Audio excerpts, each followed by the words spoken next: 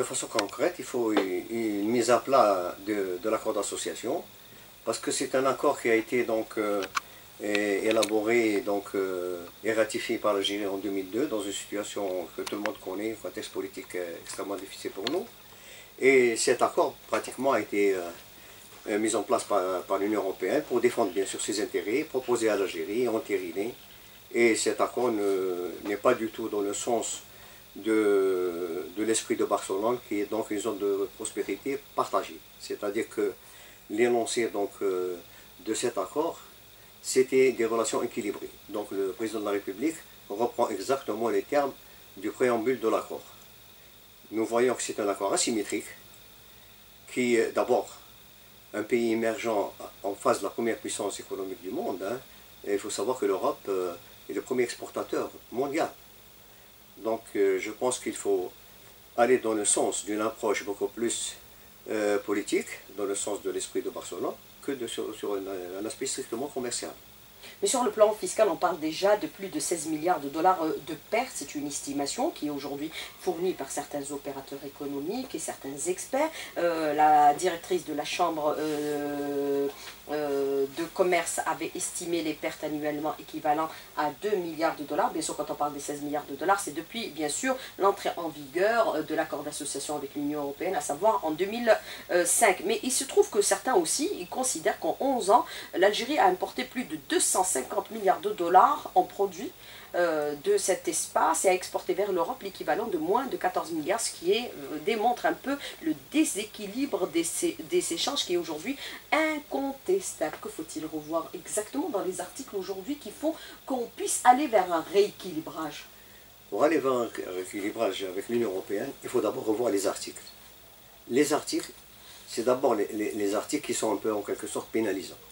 Je, vous citerai un, un article qui est l'article 34 de la compensation. Ça veut dire quoi? Ça veut dire que si on, protège un produit, on est dans l'obligation de compenser par ailleurs. Je vous dis une chose, on a déjà réaménagé l'accord. Avec l'accord d'association, on est passé par un peu toutes les étapes. On a donc, en 2010, fait une demande en 2010, parce que 2009, il y avait une baisse très importante donc, euh, euh, dans nos exportations, et on était dans une situation où il fallait renégocier. On a réaménagé l'accord, et on a demandé donc euh, euh, un, deal de 3 ans, 2017-2020. le motif du report de 3 ans, c'était que c'était nécessaire pour mettre à niveau notre industrie et la rendre plus, compétitive. Le, problème dans tout ça, c'est que rien n'a été fait. Donc on a reporté 1058 euh, produits industriels, mais on n'a pas mis en place les conditions justement de cette mise à niveau. On, on suspend on reporte, mais on ne donne pas les conditions à l'outil de production algérien, de, l'outil de production algérien, de se mettre à niveau vis-à-vis de cet accord. Cet accord aussi, donc euh, je, dirais que, je disais qu'il était asymétrique parce que euh, d'abord, c'est un espace, l'Europe c'est un espace à géométrie variable. C'est-à-dire quand on a ratifié en 2002, ils étaient 15. En 2004, tous les pays donc, euh, de ce qu'on appelle de l'exploitation soviétique, c'est-à-dire 10 pays, ont, intégré l'Union Européenne, c'était 25. En 2007, intégration de la Bulgarie et de la Roumanie, 27, et la Croatie, 28. Donc si on, retire donc l'Angleterre, et actuellement, ils sont à 27. Actuellement, il y a quatre pays, ce qu'on appelle les pays candidats, c'est-à-dire les pays de l'ex-Yougoslavie. C'est-à-dire qu'on verra dans un, avenir euh, assez court, la Serbie, euh, la Macédoine, euh, euh, la, la, Macédoine est euh, rentrée au niveau donc, euh, de l'Union Européenne. Donc cet espace à géométrie variable va nous mettre encore en difficulté, sachant que l'extension de, l'Union Européenne s'est fait vers des, pays du Pérou, ce qu'on appelle les pays du Pérou, ils sont en quelque sorte une petite menace. Je, je, citerai un exemple. La Roumanie, quand elle, elle a intégré l'Union Européenne en 2007, a vu ses exportations multipliées par 10. En, 2012-2013, donc il y a eu des importations de près de 400 millions de dollars de Dacia.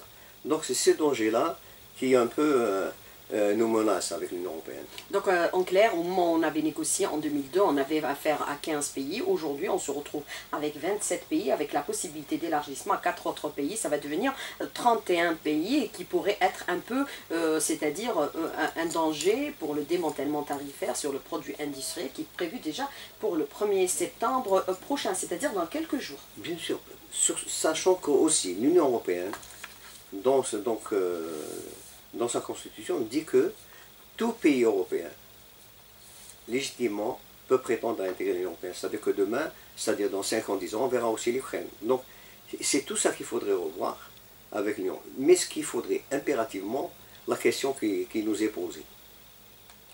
Est-ce que l'Algérie peut et doit être soutenue pour intégrer cette chaîne de valeur régionale?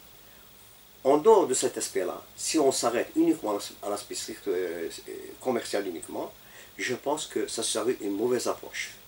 Aider l'entreprise, ou plutôt aider le pays à intégrer l'Union européenne, aider le, pays à améliorer sa compétitivité, je pense que ça serait la meilleure direction. Mais comment faire aujourd'hui pour différer l'échéance du démantèlement tarifaire sur les produits industriels qui est prévu déjà pour le 1er septembre prochain? Est-ce que ça sera possible puisque l'échéance, elle, euh, elle est là? Dans quelques jours. L'Algérie a, mis en place donc, euh, ce qu'on appelle des droits additionnels provisoires de sauvegarde, c'est-à-dire des DAPS. Ces DAPS sont censés donc euh, euh, protéger la production nationale. Un. Deux, le problème qui se pose avec l'Union européenne, c'est que l'Union européenne n'admet pas. N'admet pas donc l'augmentation enfin, de nouvelles taxes douanières ou de ce qu'on appelle les mesures d'effet équivalent. C'est-à-dire que l'article 17 donc, de l'Union européenne dit que l'Algérie ne doit pas, en aucun cas, donc, euh, rétablir des droits de douane ou les augmenter, ou prendre des mesures d'effet équivalent. Je pense que, euh, en face de cet article, nous avons aussi l'article 40 qui dit que lorsqu'il y a un, déficit de la, balance, de la balance des paiements, et, nous le voyons très clairement dans les, dans les statistiques, hein, on nous reproche à partir de 2015 d'avoir donc pris des mesures de défense, qu'on appelle des mesures de défense commerciale. Et eh bien en 2015, c'est le contraire qui s'est passé on n'a pas réduit parce que à partir de 2015, c'est la balance commerciale qui est, devenue en faveur, malgré le pétrole et le gaz, qui est devenue en faveur de l'Union européenne. C'est-à-dire que le déficit de l'Algérie à partir de 2015 s'est accentué avec l'Union européenne. Ce n'est pas le contraire, c'est-à-dire qu'il n'y a pas une réduction des importations, mais aussi il y a eu une réduction très importante de nos exportations, notamment du gaz et du pétrole. Vous savez que l'Algérie est le troisième fournisseur de gaz euh, de l'Europe et ce que nous constatons aussi, c'est qu'il y a des achats, si on prend les deux dernières années, la réduction des importations de l'Italie et de l'Espagne ont été euh, de 23% pour l'Italie et 21% pour l'Espagne. Donc tout ça donc, nous mène à quoi? Tout ça nous, euh, nous, amène à une question très importante, et ce que j'ai dit tout à l'heure, quelle serait donc euh, notre approche vis-à-vis -vis de cet accord? Alors le démantèlement tarifaire à taux zéro sur les produits industriels, comment éviter aujourd'hui la catastrophe à l'économie nationale? Ben, Je pense que la, politique et la feuille de route actuellement du gouvernement, elle va dans le sens justement de, d'une stratégie industrielle. Je pense qu'il faut absolument un diagnostic stratégique de l'Algérie, comment on doit s'insérer, même si on doit s'insérer à l'Union européenne. Sur quel créneau? Parce que donc, maintenant les pays cherchent ce qu'on appelle des produits à contenu technologique, c'est-à-dire des produits sophistiqués, des produits donc, euh, qui font appel donc, à l'innovation et, des, des, projets de futur. Donc comment l'Algérie va... On, avait auparavant donc la loi des ce qu'on appelle euh, l'investissement, on avait l'obstacle du 51-49 entre, guillemets, parce que ce, n'a pas... Euh, avant, il n'y avait pas, donc il n'y avait pas Chorus vers l'Algérie. Mais comment améliorer pour attirer les investisseurs et vis-à-vis de l'Union européenne, qui peut nous reprocher donc le, cadre global, parce que c'est une entreprise qui vient vers un pays. Une entreprise, quand elle examine les conditions d'attractivité du pays, elle ne vient pas, parce que tout simplement, la, bureaucratie a tellement gagné tout l'espace euh, administratif et tout, c'est que on examine par exemple l'indice de performance logistique. Il est mauvais, on ne vient pas vers ce pays-là, parce qu'il n'est pas compétitif. L'acheminement, la logistique coûte cher. Non, on ne vient pas les conditions aussi d'installation, les, conditions de transfert des dividendes, tout ça doit être mis sur la table pour être revu par Il faut absolument aller vite, mais aller d'une manière euh, très sérieuse. Mais pour atteindre cet objectif, pour renégocier cet, cet accord, pour atteindre ce rééquilibrage que nous souhaitons aujourd'hui, c'est-à-dire dans le cadre d'une concurrence gagnant-gagnant, est-ce qu'il faudrait associer toutes les parties concernées dans les opérateurs économiques qui n'avaient pas été associés au départ, dans la rédaction et la négociation du nouvel accord? Parce qu'au départ, déjà, ils avaient parlé un peu d'un accord qui était au désavantage de l'Algérie. Oui, absolument. je pense que ça doit changer. Le contexte n'était pas le même hein, sur le plan Ça doit absolument changer. Les, si on examine nos relations avec l'Europe, c'est quatre, quatre pays qui représentent plus de 60% dans nos échanges. C'est-à-dire que quatre pays, nous avons donc la France, l'Italie, l'Espagne et un degré moindre l'Allemagne. C'est-à-dire que c'est ces pays-là qui, qui, en quelque sorte, lorsqu'il y a un verrouillage, où il y a des droits euh, qui sont euh, appliqués, c'est les, pays qui réagissent. On a vu donc l'Espagne réagir à travers une filière quand, quand on l'a protégée, aller très vite. C'est-à-dire que c'est des pays qui réagissent beaucoup plus donc à la demande de certaines entreprises ou certains groupes pour que l'Algérie ouvre. Donc il faut absolument que l'Europe des 27 relève un peu le débat et voit donc la profondeur stratégique de cet accord il n'est pas question donc de ce que pas une approche commerciale, nous sommes dans une approche pratiquement mercantile. On ne peut pas dire à l'Algérie, appliquez l'article de compensation, on ne peut pas dire à l'Algérie, vous n'avez pas le droit de vous défendre, vous n'avez, on, on nous reproche même les services. Les services, pourquoi? Tout simplement, lorsqu'on a mis en place donc la, les, euh, la balance des services avec l'Europe est déficitaire. Elle est déficitaire de 3 milliards de dollars. Pourquoi? Parce que tout simplement, les majors maritimes viennent chez nous et captent euh, plus de 50% donc, du trafic maritime. quand on a mis en place euh, justement la mesure sur le FOP, l'Europe a réagi. A réagi à travers qui? Avec les compagnies maritimes qui sont là et qui sont très proches donc, de, leur gouvernement. C'est les pays, c'est ces pays-là qui ont donc euh, en quelque sorte reproché à l'Algérie d'aller à l'encontre donc de la liberté des services. Les services ne coûtent pas moins de 15 milliards de dollars d'importation annuellement. Oui, mais c'est. Ça baisse un peu de 12 milliards de dollars, mais, ça reste quand même une enveloppe conséquente. mais c'est notre faute. Quand, quand, on voit donc euh, la balance des services chez le voisin qui est, qui est, excédentaire, ça pose un problème. Quand on voit le taux d'intégration, la Tunisie est le pays le plus intégré à l'Europe. Pour 100 euros importés en Tunisie, c'est 85 euros qui sont importés et qui sont exportés. Nous, quand on voit donc cette balance-là, or et hydrocarbures, c'est 100 euros importés et 5 euros exportés. Transport maritime, la donc, totalement la, la problématique posée est très complexe. Là, en tout cas, le, la concertation avec euh, les entreprises, parce que c'est elles qui reçoivent le choc d'une façon ou d'une autre, de toute politique euh, économique en Algérie. Quand on voit les autres pays, je citerai le cas de l'ALECA actuellement en Tunisie. Les opérateurs, les opérateurs ont dit non. On a dit, ils ont dit qu'on ne va pas aller ce qu'on appelle euh, l'accord de, libre-échange complet avec euh, l'Europe, ils ont dit non, parce que ça ne nous agrée pas, parce que l'Europe nous traite comme un pays, donc euh, comme une puissance. Et, l'Europe doit revoir cette approche-là vis-à-vis donc de sa façade sud. Et ce n'est pas une suggestion, mais en tout cas, l'expertise qu'a la Tunisie donc avec cette approche avec l'Union européenne, je pense qu'on doit en profiter. Parce qu'ils ont eu des combats à faire, mais nous, ce qu'on doit faire aussi, c'est aussi donc injecter de la compétence, de l'expertise au niveau des secteurs qui ont en charge cet accord. Alors, M. Monsieur Ali Nasri, moi je voudrais revenir avec vous sur plusieurs aspects, par exemple de, de cet accord avec euh, l'Union euh, européenne. Alors, en importation, euh, le montant engrangé par l'Union européenne en pratiquement 11 ans s'élève à l'équivalent de 250 milliards de dollars.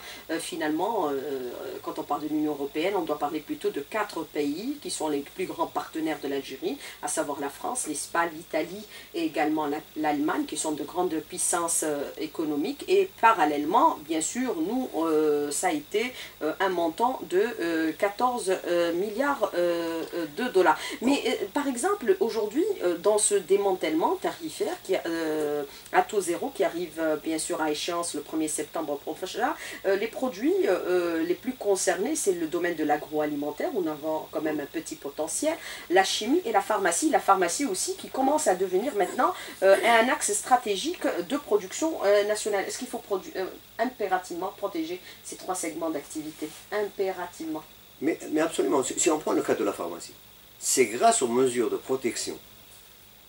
Et, je pense que c'est un exemple, c'est grâce justement à la protection des, de, de l'État que la pharmacie l'industrie pharmaceutique euh, en Algérie s'est développée. Si on arrive euh, actuellement à satisfaire 50% des, besoins nationaux ou un peu plus, c'est grâce à cette mesure. Donc, ça peut porter des fruits. Maintenant, concernant la pharmacie, on sait très bien que c'est des, produits donc, euh, à contenu technologique. Je pense que c'est une occasion pour l'Algérie de faire valoir justement ce secteur qui est émergent pour justement profiter un peu de ce qui se passe dans le monde, c'est-à-dire notamment de la pandémie, et, les majors aussi sont là, hein, pharmaceutiques, notamment euh, français. je pense que c'est le moment de délocaliser ou de coproduire en Algérie. C'est une, une, une chance pour nous, justement, on va aller vers, ne pas s'éparpiller, aller vers ce que nous voulons, quels sont les secteurs que nous voulons, là où on a des avantages comparatifs. Là, je citerai le cas de la, pétrochimie. Il n'est pas normal qu'on importe euh, des produits dérivés du, pétrole, du, du gaz ou des, et dans ce cadre-là, nous avions un, euh, un, grand projet, un gros projet en 2007 qui a été abandonné sept ans après. On ne sait pas dans quelles conditions, mais en tout état de cause, c'était donc une sortie de devises de plus de 10 milliards de dollars. Donc, on ne peut pas continuer à constater des pertes. Je vous donne un exemple. Le cas du sucre. Le, sucre, nous avons un contingent de 150 000 tonnes, c'est-à-dire en exonération de droits de douane. Ce, ce, pendant toute la période, la perte en, exonération de droits de douane a été de 220 millions de dollars. Un seul produit. vous voyez, vous imaginez un peu donc euh, euh, la situation. Donc, concernant les chapitres 1 à 24, il faudrait absolument renégocier parce que c'est les produits agro et agroalimentaires. Et dans l'agroalimentaire, l'Algérie peut prétendre à recevoir des investissements parce que nous transformons peut-être 1% de notre production agricole. Et nos produits agricoles représentent quand même un bon gisement. Un bon gisement. Nous avons donc nous sommes dans certaines filières excellentes. La tomate, la pomme de terre. À nous, il est, il est plus que temps, non pas de faire un diagnostic uniquement, mais d'appliquer ce diagnostic stratégique. On peut le faire donc avec euh, euh, l'aide de l'Union européenne et nos experts dans ce domaine-là. Quels sont donc nos métiers et quels, quels sont donc les secteurs qui pourront nous faire intégrer dans la chaîne euh, de valeur régionale. Il y a aussi les services. Il n'est pas normal que nous n'exportons pas de services, zéro service, sachant que nos voisins euh, euh, exportent 8 milliards de dollars pour le voisin de, l'Ouest et 5 milliards de dollars pour le voisin de l'Est. C'est énorme. Nous importons 15 milliards de dollars, cette année ça a baissé en raison bien sûr des difficultés financières, 12 milliards à la charge de l'État. Mais je pense que Maintenant, l'État ne doit plus parler avec lui-même, c'est-à-dire qu'il est, il est impératif d'impliquer le secteur économique productif algérien dans toute négociation. Mais justement par rapport à cette négociation, est-ce qu'il faut regarder de près, euh, article par article, regarder de près produit par produit, ne pas euh, recommettre les mêmes erreurs que nous avons commises euh, en 2002 lors de la négociation, même si on était sur le plan politique un peu plus vulnérable par rapport à actuellement. On sortait pratiquement du terrorisme, l'Algérie était quasiment sous embargo. Moi, je pense que l'approche doit être stratégique. C'est-à-dire que l'Europe doit voir, justement, doit faire une projection sur cet accord-là. Mais quand on parle de gagnant-gagnant c'est-à-dire les importations, les, importations ont été faites de masse, mais il n'y a pas eu d'investissement, parce que dans l'accord aussi, il est prévu d'investir en Algérie. Il n'y a pas eu d'investissement. Mais absolument, l'accord il est global, c'est-à-dire que c'est un, un accord qui est politique, qui est sécuritaire, qui est culturel, qui est social. des personnes également. Donc, il, est, donc il, a plusieurs dimensions. C'est pourquoi que notre pays s'attache justement au respect de cet accord.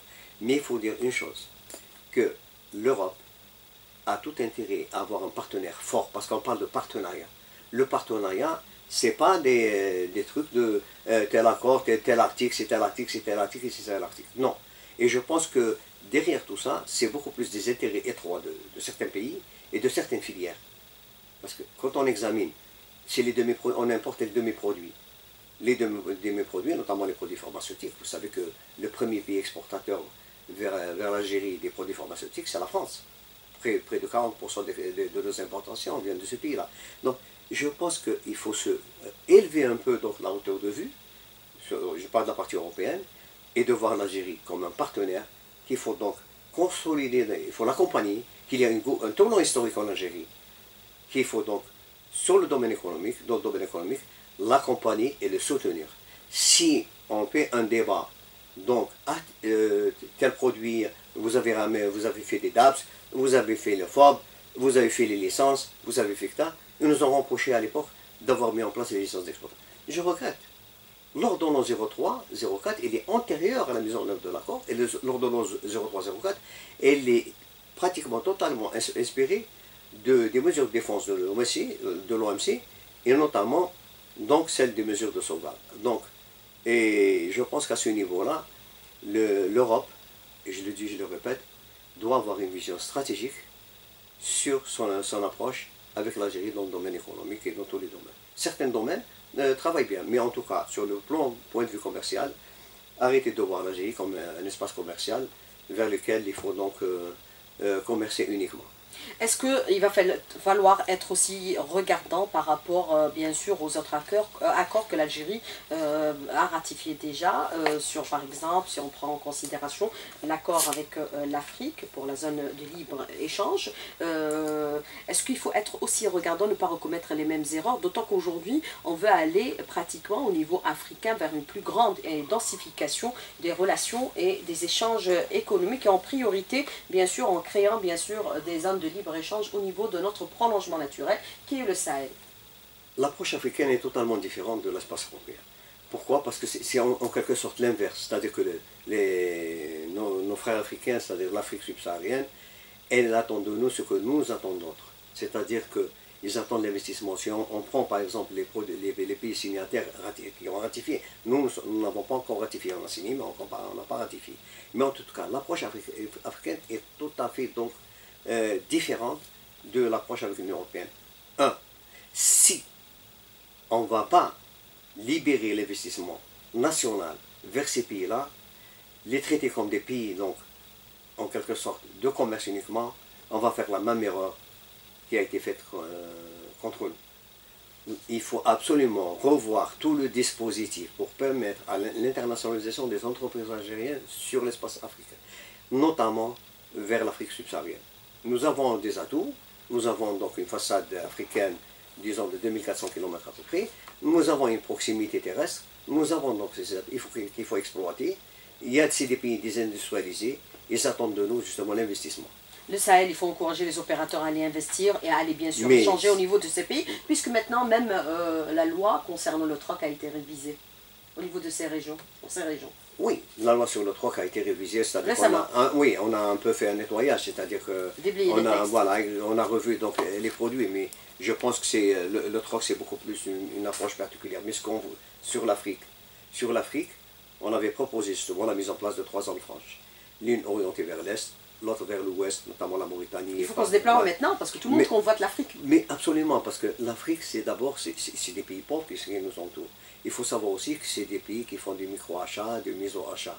Donc, on avait proposé une zone franche à Engzen, c'est elle qui va capter les demandes qui viennent du Tchad. Vous savez que nos produits partent, sortent par le Niger et vont directement vers le nord du Nigeria, notamment à Kano. Donc, il faut qu'on tienne compte de cette spécificité africaine. Il ne faut pas qu'on fasse l'erreur au niveau de l'ASDECA, parce que l'ASDECA, l'Algérie est un poids lourd. C'est-à-dire que quatre pays c'est 40% du PIB. L'Afrique du Sud, le Nigeria, l'Égypte et l'Algérie, c'est des poids lourds. Nous sommes, on nous regarde comme un pays euh, industriel. Donc ils ne comprendraient pas que d'abord ils n'ont rien exporté, mis à part quelques produits agricoles. Donc soit on fait du de la coproduction, c'est-à-dire co-développement, et aller investir. Si nous, on n'investit pas dans ces pays-là, c'est d'autres qui vont investir, et ils le font. Et quand ils vont investir là-bas, c'est l'Algérie qui sera un espace commercial. Mais en ces temps de crise, est-ce qu'il faudrait permettre aussi la délocalisation de nos entreprises vers ces pays-là? Il faut lever toutes ces contraintes, les laisser investir. Libérer l'investissement au sens le plus euh, clair du terme. Quand on parle de nouvelle gouvernance, une nouvelle il, faut, il, faut, absolument se, débarrasser de ce score. On a, l'Algérie a cet avantage d'avoir tout ici. L'Algérie, c'est un cas d'école. On était 100% monopole, on est devenu 100% bazar, maintenant on ne sait pas, on est moitié-moitié. Donc, il faut absolument revoir cette, approche-là. Il faut se débarrasser.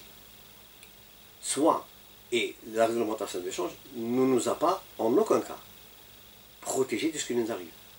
Parce que c'est une vision donc tout à fait restrictive.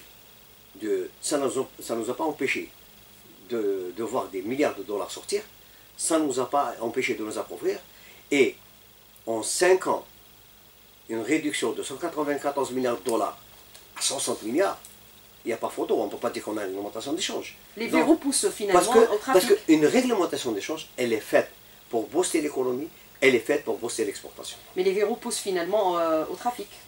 Mais à, trouver des moyens contournés pour détourner un peu euh, l'attention et la réglementation en vigueur. C'est des milliards qui sont sortis, pourtant il y avait la réglementation de change. C'est la, la bureaucratie administrative qui crée l'informel.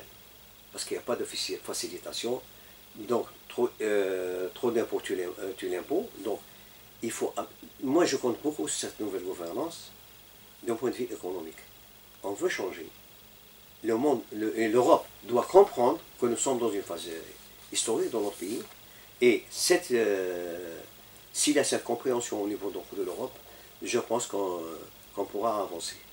Alors euh, aujourd'hui, euh, ce qui est relevé, c'est la question de l'auditeur qui vous dit, avec euh, bien sûr cette crise sanitaire, on a vu les pays se refermer sur eux-mêmes. Il y a ce principe de retour vers les principes de l'État-nation et tous les États aujourd'hui ont protégé pendant cette période leur économie de telle sorte à satisfaire les besoins de leur population. Est-ce qu'on peut considérer que demain, ces blocs pourraient disparaître? Parce que même au niveau de l'Union Européenne, nous avons vu que par exemple la France n'a pas été fortement solidaire avec les Espagnols ou avec les Italiens quand ils comptaient leur mort Est-ce qu'on peut considérer que les choses ont changé et vont changer après euh, cette pandémie? Et en tout cas, il y a une remise en cause de la globalisation ou de la mondialisation. Une remise en cause parce que cette pandémie-là a montré les limites de cette, euh, mondialisation. En, maintenant, des pays capitalistes parlent de patriotisme économique, parlent de souveraineté économique. Trump, ça qui le dit. Oui. First America. Voilà. D'abord l'Amérique. Voilà, mais absolument. Donc, nous, je pense que c'est le leitmotiv actuel. Et on voit donc quand on dit qu'il faut réévaluer l'accord, c'est clair. Le réévaluer dans le sens d'un équilibrage, ça veut dire qu'on ne peut plus, on peut plus donc, euh, fonctionner de la même façon qu'on fonctionnait avant. On n'en a pas aussi les mêmes moyens On n'a pas du tout les mêmes moyens. Les, le déficit de la, de la balance des paiements, on voit qu'ils sont en train de, de s'éroder. Nous sommes actuellement, nous avons un déficit donc, de 6 milliards de dollars sur la balance commerciale. Si on ajoute euh, les 6 ou 7 milliards donc nous sommes à 13-14 milliards de dollars de déficit de la balance des paiements. C'est énorme. Cette année, ça sera une année très difficile parce qu'on compte sur euh, donc, des recettes euh, euh, pétrolières donc, de l'ordre de 25, peut-être 26 milliards de dollars. Non, M. Attal a annoncé 23 milliards de dollars, une perte sèche de 10 milliards de dollars comparativement à l'année dernière. Oui, l'année dernière, donc on a fait 36 milliards d'exportation. Cette année, on parle de 23. De, hein? Cette année, on parle pratiquement de 23. On, parle de 23, donc ça va accentuer donc, le déficit. Euh, que faut-il faire? Alors, autre question de l'auditeur, qu'est-ce qui bloque les exportations d'autres produits, hormis les hydrocarbures, vers l'Union Européenne? Est-ce qu'on peut considérer qu'au moment de la négociation, ils ont protégé justement leurs services, euh, leur secteur agricole? L'Europe, c'est très simple. Elle a été construite sur euh, une protection maximale de son agriculture et son industrie agroalimentaire parce qu'elle est très puissante. Donc, quand ils ont mis en place, cette, quand ils ont élaboré cet accord, ils ont fait une séparation entre ce qu'on appelle les, chapitres 1 à 24 du, du tarif douanier, c'est-à-dire tout ce, que je viens de vous dire, les produits agricoles et agroalimentaires, tout ça, c'est des quotas et des contingents. Et les conditions taxées sont extrêmement difficiles. Les conditions, c'est-à-dire qu'ils ont cette capacité d'élaborer donc euh, euh, des conditions sanitaires et phytosanitaires qui font que nous, nous, ne pouvons pas atteindre. Ils ne nous ont pas aidés à le faire. Je prendrai un cas. C'est ce qu'on appelle le plan de surveillance des résidus. Et l'Europe subordonne l'exportation des produits, donc les dérivés du lait, les dérivés des produits carnés, un plan de surveillance du réduit, ça veut dire quoi? Et le miel, ça veut dire quoi? Donnez-nous les garanties que c'est le bétail, les, abeilles ne vont pas dans des endroits contaminés.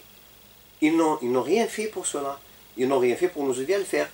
Donc, l'Europe à ce niveau, ils ont été donc euh, ils ont été traînés devant l'organe des règlements différents au niveau de l'OMC et sur la filière sucrière aussi. Donc, l'Europe ne se gêne pas pour se défendre. L'Europe ne se gêne pas pour que chaque jour, des directives nouvelles qui viennent. Alors, M. Ali Bey Nasri, moi je voudrais revenir avec vous euh, sur un autre aspect. Pour l'automobile, on reprend aujourd'hui l'importation. Vous avez cette question de l'auditeur qui dit euh, est-ce qu'il va falloir éviter aussi des erreurs qu'on a faites par le passé, c'est-à-dire importer de masse euh, qui, des véhicules qui ne répondaient pas à certaines normes? Aujourd'hui, on est en train d'élaborer le cahier charge qui n'a pas encore été annoncé officiellement par les pouvoirs publics. Mais est-ce qu'il faudrait aussi négocier pour avoir les plus gros constructeurs dans notre pays? C'est pas parce qu'il y a eu de mauvaises erreurs qu'il ne va pas falloir relancer euh, l'industrie automobile dans notre pays L'investissement au niveau du secteur de l'automobile, ce n'est pas une question uniquement de... Ce n'est pas une importation déguisée, mais de l'investissement. Oui, mais on, c'est-à-dire on investit dans un pays, quand ce pays-là réunit les conditions minimales. Les, conditions minimales, c'est justement un réseau de sous-traitance qui lui permet justement d'être compétitif.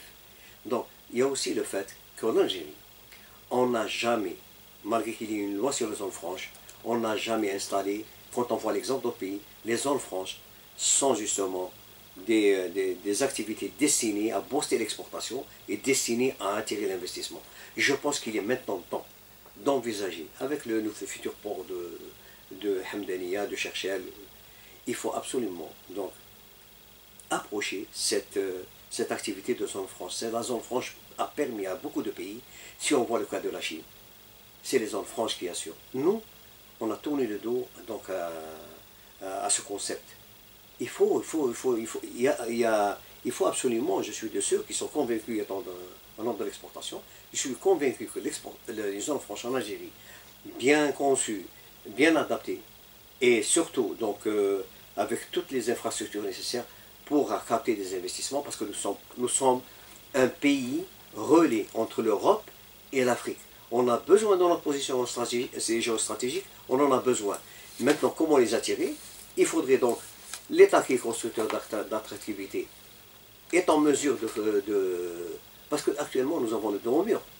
Nous avons le dos au mur. Il faut aller vers des, vers des, des solutions qui soient des solutions de facilitation.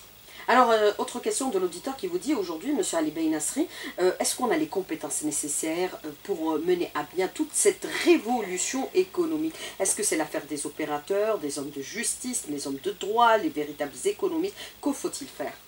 Justement, c'est le grand drame de l'Algérie.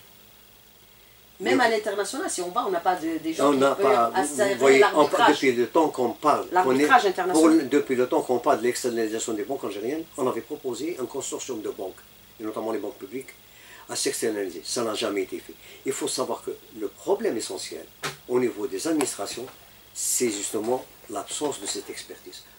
Je prends le cas de l'agriculture. 300 ingénieurs sont formés par l'école euh, nationale donc supérieure d'agronomie. Ces 300 vont partout, sauf là où ils étaient destinés à l'agriculture. Donc comment les capter, comment les insérer, comment les insérer? Donc l'agriculture souffre justement d'une absence de qualification, elle est là, on, la gêne. Donc je pense qu'il est... Je parle par exemple de l'accord, uniquement de l'accord d'association. L'accord d'association, je regrette de le dire, mis à part les affaires étrangères qui ont capitalisé donc une expérience qui, euh, qui, a, qui a surtout donc euh, qui est en mesure un peu de défendre sur l'aspect sur euh, diplomatique cet accord-là. Mais tout le reste qu'on voit les administrations c'est un peu le désert de Gobi. L'expertise a disparu. Donc comment, et je, suis de ceux qui font un appel, à ce que les, étudiants qui sortent, les nouveaux diplômés du secteur commercial, intègrent le ministère du Commerce, qu'on fonde des spécialistes de la... un accord, c'est des spécialistes de l'accord. C'est multidisciplinaire, il faut qu'il y ait des équipes. Quand on voit de l'autre côté, quand on voit de l'autre côté de l'Union Européenne, c'est des, des, des, experts, c'est des chevronnés, c'est des milliers de personnes. Nous, on ne peut pas aborder l'accord d'association avec un ministère qui comprend donc euh, trois ou quatre personnes chargées de l'Union Européenne.